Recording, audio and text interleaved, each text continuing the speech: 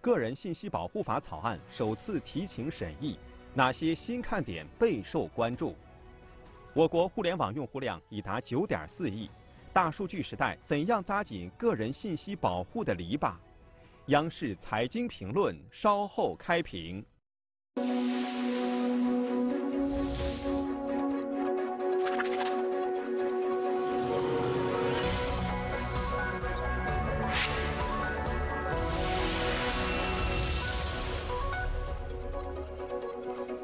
欢迎您收看由中国邮政储蓄银行独家冠名的央视财经评论，我是张琳。今天我们来关注的话题呢，是和每个人都相关的个人信息安全。大数据时代，个人信息保护的薄弱始终是一个隐痛。每个人的数据信息在每个环节都有可能被不当收集、储存、利用和非法交易。那这个问题到底能不能够解决？怎么解决？我们今天欢迎两位嘉宾加入我们的探讨。一位是中国政法大学法律硕士学院院长许申健教授，一位是央广财经评论员王冠。欢迎两位。那其实关于个人信息保护的一些措施，这几年都在陆续的出台啊，但是并没有从根本上改变信息裸奔的状况。公众呢更加期待的是相关的立法。昨天，十三届全国人大常委会委员长会议提出了关于提请审议个人信息保护法草案的议案。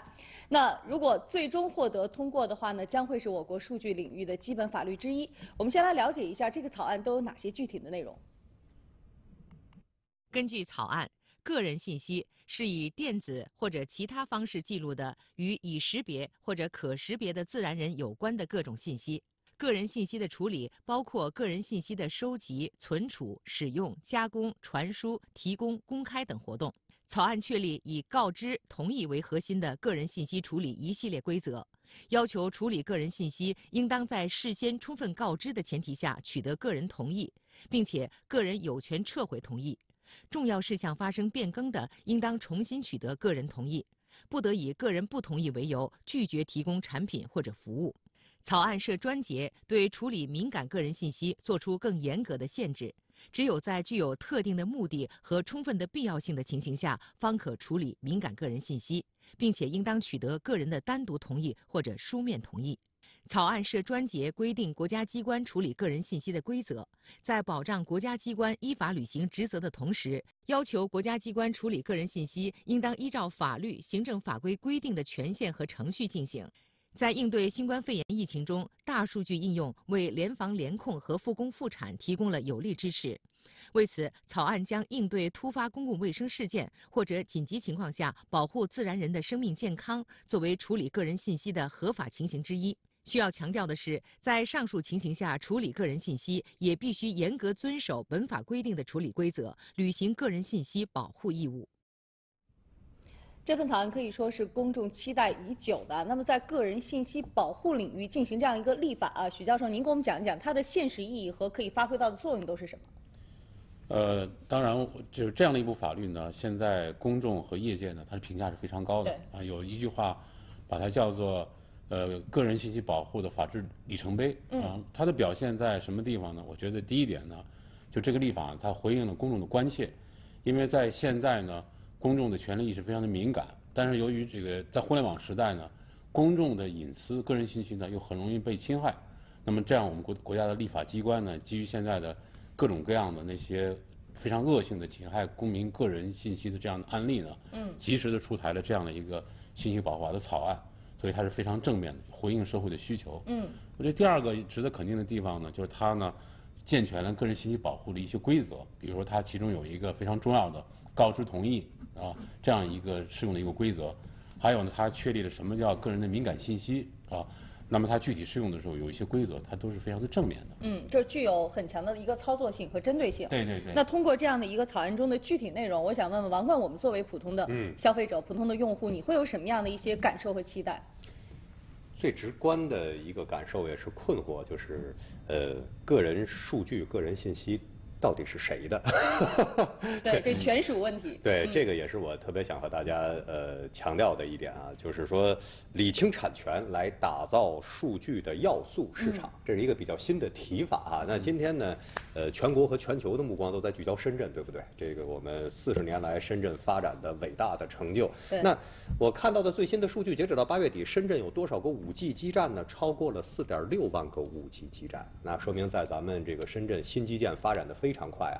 我们想一想，在四 G 时代，咱们进入四 G 时代大概有六年的时间了，大家已经觉得我的个人信息数据的保护有一些短板，各种信息泄露已经不胜其烦了。深圳四点六万个五 G 基站全面铺开落地之后，意味着整个深圳和全国，那今后我们每个人各个领域生成的数据会比四 G 时代多太多了。对这种信息的高速公路、高铁就全面的升级了。那么同样，我们看一看，在呃不久之前，就在这个十一号，那么深圳的呃。整个的综合改革试点实施方案特别强调了要加快培育数据要素市场，率先完善数据的产权制度，对吧？我们整个的和个人有关的互联网消费数据，那么肯定有我们本人。那与此同时还有企业呢，还有这个服务企具体产生服务的企业，我叫个车呀，送个餐呀等等。另外一方面还有运营商呢。虽然我们交了电话费和数据费，对，同时还有云服务平台呢，来保管这些大数据。所以，几者之间到底是一个什么关系？这个产权理清之后，才有可能把它价格化，把它市场化，把它法制化。没错。那像徐教授，除了王冠刚才提到的大家都很关心的个人数据的权属问题啊，类似于这样的难点，这次草案中是怎么样去针对性的设置的？它要解决哪些现实的问题？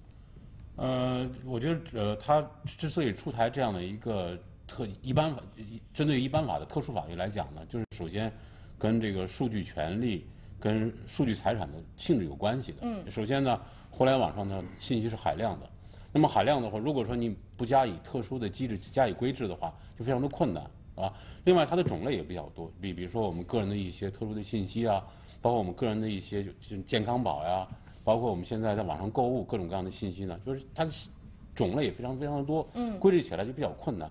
就传统的民法典所规定的一些相应的权利呢，在传统的社会框架之下呢，规制起来还是比较简单的。那么，呃，网络社会的话，它有各种各样的特点。那么这个权利，数据权利呢，数据财产呢，它具有特殊性啊，所以规制起来比较复杂。另外，它的存存储也是一样。那么，像我们一般的这个权利，像房产呀，各种各样的，它都是非常有形的或者是无形的。但是它这个存储的话，可能是在在云端啊，它既有物理空间，又有云上的空间，所以处理起来就格外的复杂。嗯。所以呢，基于这样的一个现实，网络社会的特点、数据权利的特点、个人信息的特点呢，所以出台这样一个。专门的法律呢是至关重要的，嗯，所以它是应运而生，没错，而且符合社会的需要，对，特别有这个必要性和迫切性啊。对。那我们说到这个移动互联网时代啊，咱们个人信息保护的第一要关注的就是手机了。那智能手机上有众多的 App，似乎呢都很聪明，而且很贴心的知道你的想法和需求，它会实现一些精准的推送。那这到底是怎么实现的？这个其中有没有一些风险？我们来看看此前记者做的调查。北京的苑先生最近有个疑惑：和朋友只在线下闲聊过的东西，第二天就出现在自己手机应用的推送里。居然不给我吃椰枣，他们说是椰枣，然后过了一天，我就刷到了就是关于椰枣的推荐的视频，我就觉得很惊讶。我说：“那你怎么可能，对吧？我除了说，没有任何搜索记录，你就给我推荐呢？”过于精准的推送内容，并不是苑先生一个人的感受。有的 A P P 就你要用它的话，就要什么把，呃，通讯录啊，什么信息都授权了，就我都不知道为什么要授权这些信息。输入自己的手机号，然后发送验证码这些之类的，然后第二天或者过几天就会有不知名的一些电话给你打进来，给你推销一些东西。八月底，工信部对外通报了二零二零年第四批侵害用户权益行为的 App 名单，多个应用软件存在违规收集个人信息的问题。嗯，其实这些年啊，随着四部门 App 违法违规收集、使用个人信息专项治理工作的推进，国内的很多 App 大都建立了要求用户授权同意的机制。但是事实上，现在还是存在着这个强制你去同意或者说默认你去同意的这样一种情况存在啊。那很多包括说现在人脸识别领域更是这样，悄无声息的就获取了你的相关的一些信息了。那许教授这一次的草案中，针对这样大家最为关心的一些情况，有没有一些相应的规定？刚才我们说的这些情况能不能得到彻底的一些治理？呃，我觉得主持人你讲的这个你说的这个问题也非常的好，呃，它确实呢反映了现在这个社会的特点，就是因为。现在呢，对于我们这个包括人脸识别呀，包括一些强制性让用户的话必须签下像卖身契一样的，主要是这个这个地位是不平等的。对。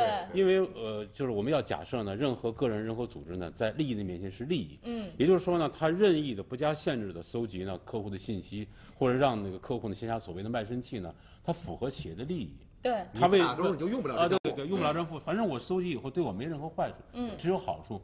那所以说呢，这部立法呢，就我们就是根据呢这个不同的性质，如果是确有必要的，比如说像互联网医疗呢，是吧？像像有一些需要特殊加以限制的跟敏感的信息呢，嗯，这个时候呢，如果你要让这个公众的话需要同意的，必须加以严格的限制，是吧？并且有的一些像网上一般的一些服务，是吧？只要同意的，也没有什么太大的坏处，嗯，一般的限制就可以了。那有一些的话，干脆就跟这个没有什么关系，那干脆也没有什么限制。嗯。有一特殊的行业，包括电力之类的，是吧？它不需要多少个人的信息，所以你同意就同意。所以我想呢，这个这部法律的一个最大的优点，它是分门别类，根据它的需要，是吧？它其实说到底呢，原来我们想就是像个天平一样，完全可能倾向于呢，有大的企业、大的互联网公司，是吧？那现在的话，它权力需要一个平衡。慢慢的话呢，通过这样的一部立法呢，让唤起这个公众的权利意识，嗯，掌握这个平衡，这是他这个。关键除了采集方面，其实大家这个不对称的另一方还不知道他拿了我的信息干什么去，是是是。所以这个处理方面就很重要。所以它可以非法的储存、非法的传输、非法的买卖，而我们的一无所知，嗯啊，所以呢，我们现在呃就感到呢就是。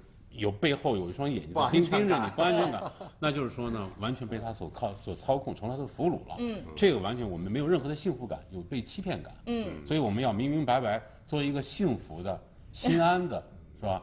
这样的一个有尊严的一个消费者，这是我们需要去做的。嗯，上个月有一篇文章，我不知道两位有没有注意过，刷屏了，叫“一部手机失窃，引发了一场惊心动魄的战争”。是一个类似于程序员，还是相关领域的专业人士啊？他的手机丢了之后就被人盗用，一系列的信息就被人盗用了之后，造成了一些经济损失。所以进入到现在移动互联网时代，我们刚才说到了，还有像人脸识别这些新的一些信息的这种采集之后，你觉得我们现在面临的挑战是不是又增加了很多？呃，我觉得首先，呃，从个体的挑战来说，就是我们和呃这些大数据企业或者说互联网巨头的一个技术能力的不对称啊。另外呢，我觉得刚才张林谈到挑战这个词特别重要。实际上，我们在看到世界各国面临着大数据时代的这个治理体系，也都是很直观的挑战。就在上周，美国众议院的反垄断调查组。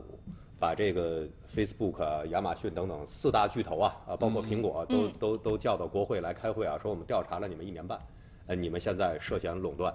我们我们听一听亚马逊啊，就美国版的电商巨头，他是怎么自我辩护的？他说我没垄断，全球的整个的零售业我就占百分之一，美国的零售业我就占不到百分之五，你凭什么说我垄断？嗯，对。但是请注意，在美国的线上零售，它可是占到接近百分之五十的。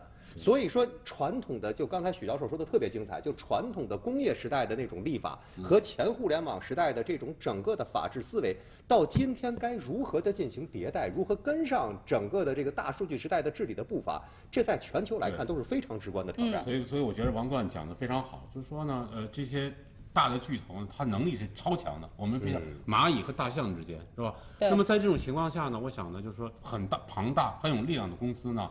你不能让他就是说自我规制，嗯，靠不住的。因为我刚才讲了，任何企业都是任何个人的话，在利益的面前选择利益。那那么在这样一种情况下，怎么怎么样规制？当然，它有很多的口号。有的公司讲的话呢，别作恶。嗯，像我们国内有的公司讲的话，科技向善。但是重要的什么呀？重要的是我们有一套机制，嗯，让它就是我们这个良法，就是我们个人信息保护法是良法，要善治。没错，必须的话要对他们进行规划出雷池的边界。对对对对对对。那说到这个法律方面，我们说保护个人信息安全，除了要立法规制数据的采集滥用行为，更要加大违法行为的惩处力度。那今年的十月十号，上海市闵行区的法院呢就公开审理了一起非法买卖公民个人信息的案件，两名被告人在被追究刑事责任的同时，检察机关还提起了刑事附带民事公益诉讼。因公司业务，被告人秦某需要大量电话号码。通过网络，秦某结识了施某。施某从上家处买来这些信息后，转手将一万多条信息卖给了秦某。在这起案件中，两名被告人分别因侵犯公民个人信息罪被判处拘役五个月，秦某获缓刑。检察机关对他们还提起了刑事附带民事公益诉讼。秦学营利用所购信息，已拨打电话。添加微信等方式开展影视投资等业务推销活动，其行为危害到不特定多数公民的隐私权乃至人身安全、财产安全和社会管理秩序，损害了社会公共利益。检察机关请求法院判令两名被告人删除保存在手机、电脑等储存介质内的公民个人信息，并在省级新闻媒体上公开赔礼道歉，同时对造成的损害进行赔偿。公益诉讼的诉请获得法院的支持。庭审后，法官要求两名被告人当场道歉。我对我，嗯，侵犯个人信息这个罪，嗯，感到非常的懊悔。然后我也在此向，嗯，我所侵犯到的群众、大众所涉及到的信息，再次向你真诚的忏悔。对自己的这个行为非常的恶劣，然后对自己所作所为呢，表示非常的后悔。对此呢，在这里向广大的民众，特别是这个名买我所购买的名单当中的这个大众表示深深的歉意，对不起。在数据执法领域，强监管和严格的法律责任是一个全球的趋势。哈，我们拿欧盟一八年实施的通用数据保护条例，也就是 GDPR 来看。不仅设计了罚款等处罚机制，还包括了警告、训斥等强制措施，而最高的罚款更是高达两千万欧元，或者是企业上一年度百分之四的全球营业收入啊！我们一其实一直在说，大家在呼唤立法的同时，也觉得国内相应的这样的违法成本还是比较低的。那徐教授这一次的草案，您觉得它其中设置的惩处机制怎么样？呃，我觉得在这个方面呢，也做得非常好，就是我的感觉就是要加大惩戒力度。震慑违法行为嘛，对吧？因为这部法就是有法可依，有法必依，就要加大这个执法的力度，是吧？让这个法律的在惩戒机制上成为一个老虎有牙的老虎一样，不能成为一个无牙的老虎。所以呢，呃，这次立法的亮点就是加大惩戒力度，啊，所以这在这个方面呢，它起到这样一个作用，要就是对呃这个违法行为进行震慑，嗯啊。应该说，不仅有民事方面责任，刑事方面你也要面临相应的刑事责任、行政责任，它是一个整体嘛。根据这个违法犯、违法或者犯罪的这个性质、危害性，加以处罚，或者是民事的，或者是行政的，或者是刑事的。嗯，对，我们其实现在刚才说到欧盟的这样一个 GDPR 的这样一个条例啊，大家都说这一次我们的出台可能就是中国版的一个 GDPR，它真的是一个里程碑式的事件。嗯，但是我觉得，呃，这个难度也是显而易见的哈。刚才呃。呃，许教授在分析的时候，我也在想，我说这真是管数据若烹小鲜呐。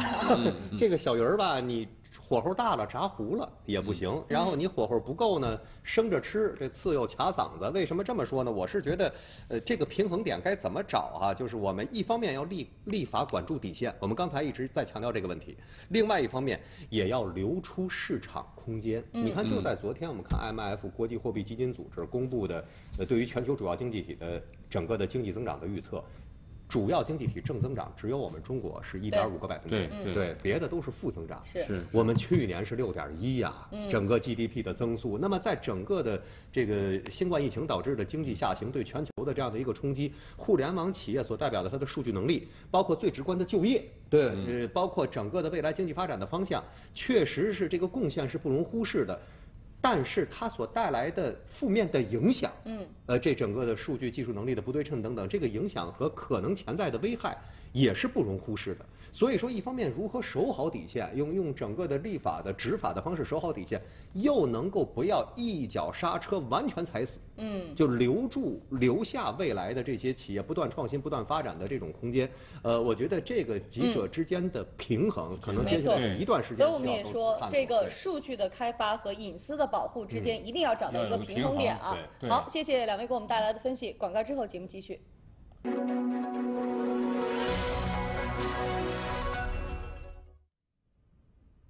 正在直播的央视财经评论，我是张琳。